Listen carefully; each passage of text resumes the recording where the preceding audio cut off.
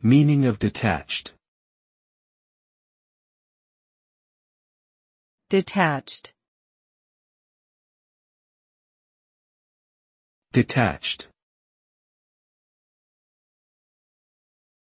Detached. Detached. The term detached refers to a state of being disconnected or separated. It can be used to describe physical objects, such as a detached house or a detached garage, indicating that they are not attached to another building. Alternatively, it can refer to a mental or emotional state, indicating a lack of involvement or interest in a particular situation or person. A detached attitude may suggest a sense of impartiality or objectivity, while a detached individual may be seen as distant or uninvolved. Overall, the result of being detached is a feeling of separation or disengagement from something else.